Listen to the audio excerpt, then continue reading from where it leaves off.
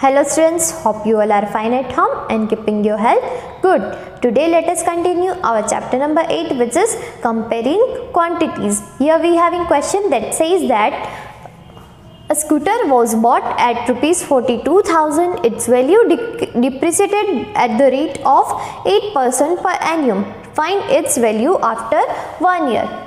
Here we have given that scooter की value जो है वो डिप्रेसिड हो रही है मतलब कम हो रही है। After one year we have to find कि एट परसेंट के रेट पे अगर जो वैल्यू है वो कम हो रही है तो हमें एक ईयर वन ईयर के बाद उसकी वैल्यू कितनी होगी, वो that we have to find जब हमारे पास किसी भी चीज़ की इंक्रीजिंग वैल्यू गिवन मतलब इंक्रीजिंग वैल्यू गिवन होती थी, तब हम कंपाउंड इंटरेस्ट का फॉर्मूला यूज़ करते थे C I plus P is equal to P one plus R upon hundred raise to N लेकिन यहाँ पे हम ये फॉर्मूला यूज़ नहीं करेंगे।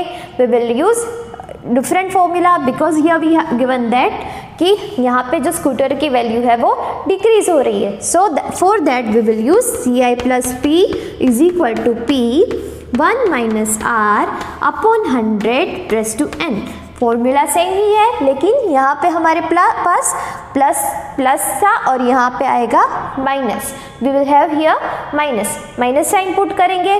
नाउ लेट अस सी हमारे पास P गिवन है दैट इज़ 42,000 R गिवन है that is 8 percent and N is for one year one year given है okay let us put the Ci plus P is equal to eh, that you know here we have 42,000 is equal to 1 minus R is 8 percent upon 100 now यहाँ hundred जो है वो one के साथ multiply हो जाएगा so we will have forty two thousand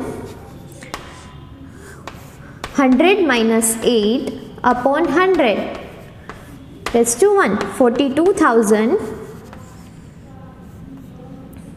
hundred minus eight will be ninety two upon hundred. Now zero zero जो है वो कैंसिल हो जाएगा।